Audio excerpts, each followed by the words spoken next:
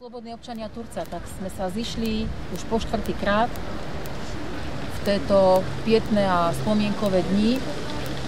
aby sme si uctili nielen našich blízkych zosnulých, ale aby sme si hlavne pripomenuli odvahu všetkých slobodných občanov Turca a všetkých nebojacných, odvážnych ľudí, ktorí sa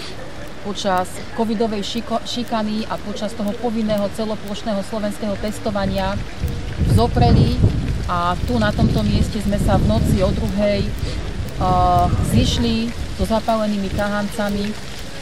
a urobili sme si taký sprievod cez pešiu zónu na Národný cintorín v Martine,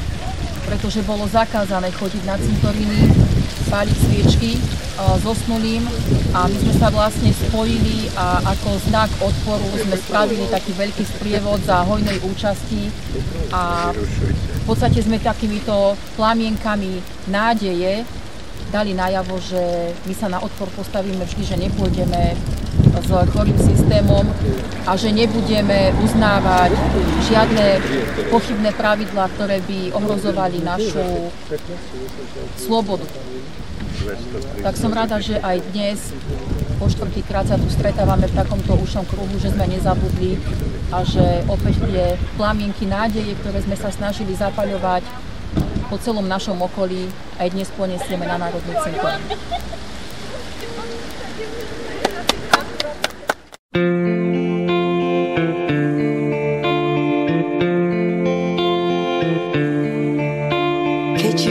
Život riany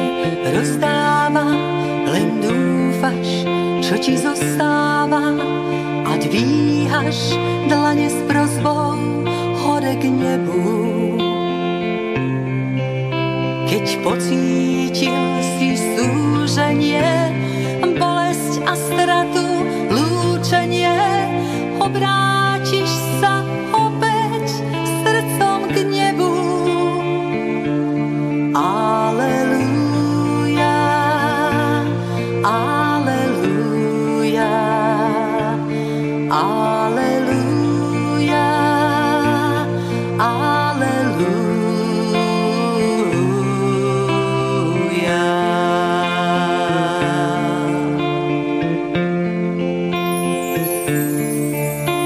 Keď prebdených je nocí pár, strach a bolesti ničí tvár,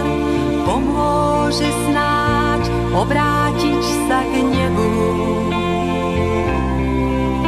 Pre krajšie dni, pre zajtrajšok, pre naše